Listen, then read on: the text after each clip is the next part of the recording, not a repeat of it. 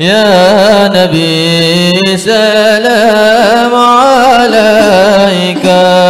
يا رسول سلام عليك. يا حبيب. أعوذ بالله من الشيطان الرجيم. إن الله وملائكته يصلون على النبي. يا أيها الذين آمنوا صلوا عليه وسلموا تسليما. Sesungguhnya Allah dan para malaikatnya bersolawat kepada Nabi Muhammad sallallahu alaihi wasallam. Allah dan para malaikat.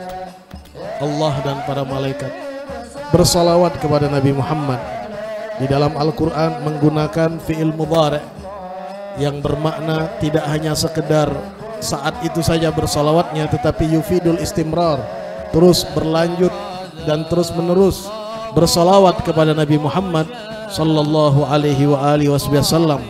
Dan kita orang-orang yang beriman ya ayyuhalladzina amanu sallu alaihi wasallimu taslima. Wahai orang-orang yang beriman dan seruan ini adalah untuk kita umat beliau. Wahai orang-orang yang beriman hendaklah kalian bersolawat dan juga bersuluk salam kepada beliau. Allahumma salli wa sallim wa barik alaih Alhamdulillah. Ini adalah nikmat besar.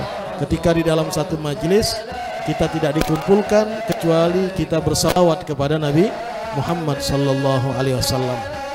Dan ternyata salawat ini adalah satu pintu yang disiapkan oleh Allah agar kita mendapatkan rahmat dari Allah Subhanahu wa taala. Kalau kita ketuk pintu itu terbuka maka akan berlimpah rahmat untuk kita. Man shalla alayya salatan wahidah sallallahu alaihi biha asyra. Barang siapa yang bersalawat kepadaku satu kali kata Rasulullah sallallahu alaihi wasallam. Satu kali dia bersalawat kepadaku dengan dia ucapkan Allahumma salli ala Muhammad wa ala ali Muhammad sallallahu ala Muhammad sallallahu alaihi wasallam. Dia bersalawat satu kali saja.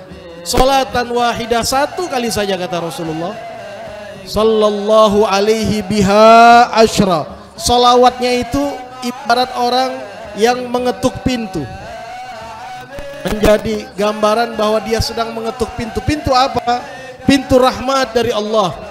Yang dengan sebab dia bersalawat kepada Nabi Muhammad Sallallahu alaihi biha.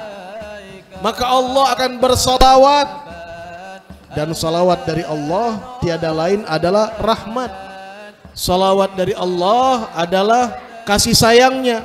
Dan orang kalau sudah mendapatkan rahmat dari Allah subhanahu wa ta'ala maka semua urusannya yang penuh dengan pelbagai macam kesulitan akan diberikan kemudahan oleh Allah. Permasalahan-permasalahannya akan diberikan jalan keluar oleh Allah.